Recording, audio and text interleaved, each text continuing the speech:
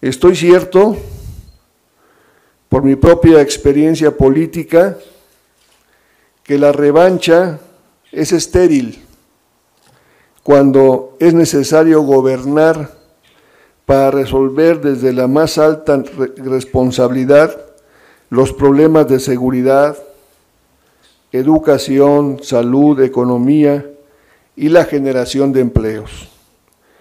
Pero cada quien fija sus prioridades y la sociedad, no tengo duda, juzgará en su momento.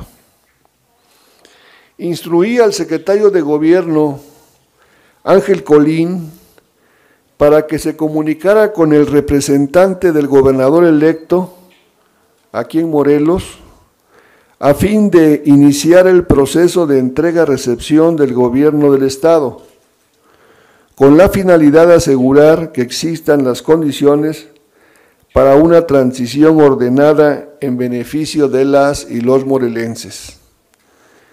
Como, como demócrata, he participado y contribuido a los cambios más importantes en este país y he aprendido, lo he aprendido muy bien, que en la vida no hay victorias y derrotas para siempre.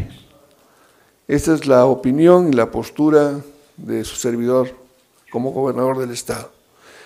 Y felicito a las y los morelenses, nos felicitamos porque participamos de una jornada electoral en paz, donde la gente decidió con toda libertad y no tuvimos mayor incidentes que lamentar, respetando el ejercicio del sufragio y las libertades en nuestro Estado.